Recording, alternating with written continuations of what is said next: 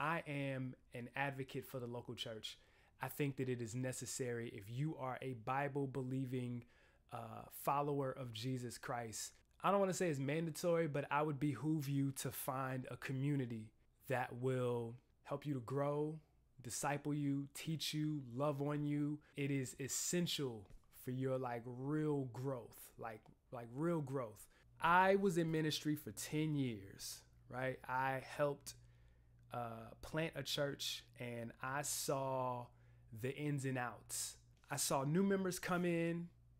I saw them have real encounters with God. I saw them connect. I saw them grow. I saw new people come in. I saw them be jarred by church culture and not really like it and back up. I've seen people be hurt. But one thing I, I noticed, especially with this generation, they get taught church culture, but it, it goes hand in hand with like biblical theology. Or they're made to assume that the way that we do things is the way that God wants us to do things. And when those things get questioned, you start hearing words like rebellious, lacking honor. Basically, those questions mean that they are disobeying God because they're questioning uh, leadership or they're questioning how things go.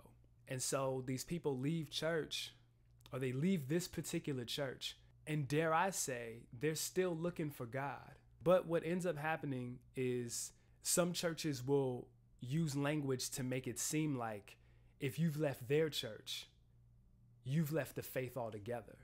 And that's not true. What ends up happening is is hearing that language from these people that you loved and it makes them not want to deal with anything that looks like that. And now you're turning them off to not only the church, but you're turning them off to Christianity as a whole. And they slowly start drifting away further and further and further and further. And then, sure, that's where the language of backsliding could come into play. I wish that Christian culture made space for people to ask questions and for people to seek and look and it's not to say that those pockets don't exist, but I don't believe that that culture is uh, universally uh, curated and embraced and accepted. Because what happens is people don't people don't look publicly, especially now in social media, where people are putting all their business out in real time. Like, yo, looking for God looks crazy, and when you're looking for Him, you you might say some stuff, you might stop on some theology or some ways that you think that people ain't really gonna rock with. Certain things should exist in that culture that helps people to seek and search, like within healthy parameters. You know, community is important. Church and community, it's the same thing. Community, community of people who are empathetic, community of people who are pray who are prayerful, community of people who are discerning, community of people who uh, are understanding or at least desire to be understanding. Those things need to exist.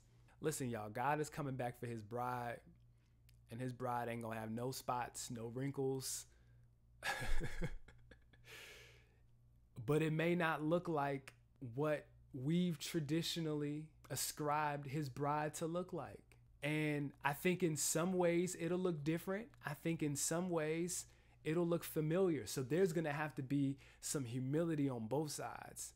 People who are super pro traditional church are going to have to recognize that there are some people who are finding God in these pockets of the earth that they've been made to believe is demonic. And it ain't. On the flip side, some of the stuff that they learned in those buildings saving their life, that it has value.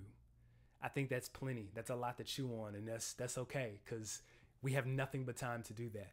Uh, my name is Armond WakeUp, and I encourage you to free yourself.